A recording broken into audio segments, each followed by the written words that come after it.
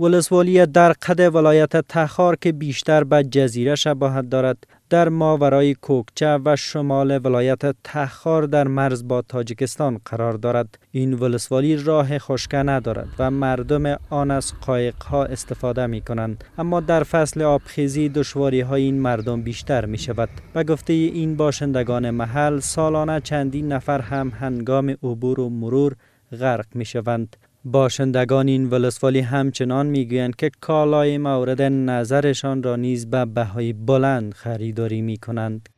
ها از اینجا مواشی تلف میشه خود انسان ها تلف میشه وسایلشان آب می‌برن. این مسیری که می‌بینه از مسیر تا اینجا دریاخانه است.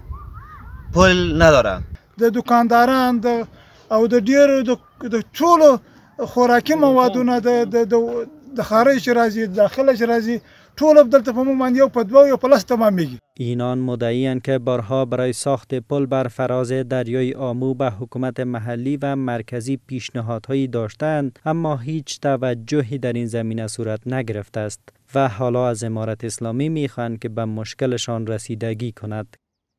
کینی دا د سینه د چې د نوې ولسوالۍ د اوس جوړه شوې ده. نه د دې څونه کلونه کې دا دلته جوړه ده. خو لیکن دا ټول مخلوقات په تکلیف کې دي په غم کې دي. او د دغه زینه چې دی هغه رنج ویني خو لیکن د دې د اواز هیڅوک نه اوري.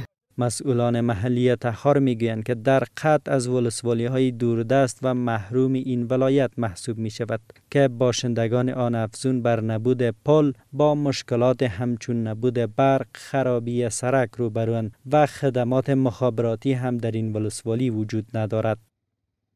در 20 سال گذشته در پیروزی مجاهدین یک نقش مهم را مردم ولسوالی خط داشتن ما امیدوار هستیم که در قسمت باید دست مردم در قد هر عاجل گرفته شود.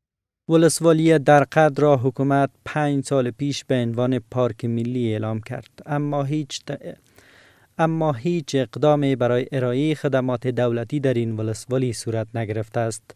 این ولسوالی در سالهای گذشته یکی از ولسوالی های ناامن تخار به شمار می رفت که حالا از امنیت کامل برخوردار است.